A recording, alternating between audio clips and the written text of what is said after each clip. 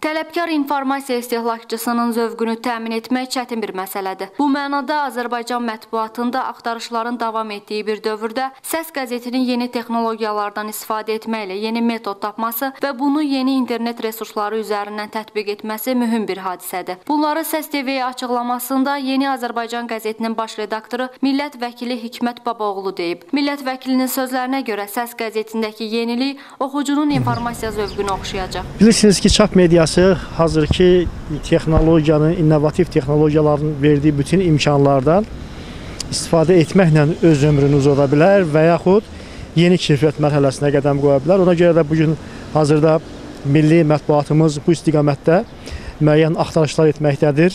E, çünki tələbkar informasiya istehlakçısının tələb zövqünü təmin etmək çətin bir məsələdir.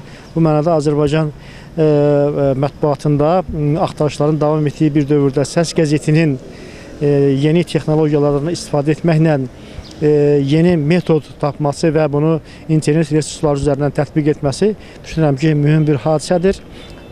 Çünki klassik media bugünkü axtarışlar prosesində bu tələblərə cavab verəcək metodlar, üsullar tapmasa, şübhəsiz ki, onun oxucusu da uyğun olaraq azalacaqdır. Ona görə də mən düşünürəm ki, bu yenilik təqdirə layiqdir və bundan sonraki mərhələdə şübhəsiz ki, qəzetin oxuculara çatmasında, onların informasiya zövqünü oxşamasında mühüm yeni alətlərdən birinə çevriləcəkdir.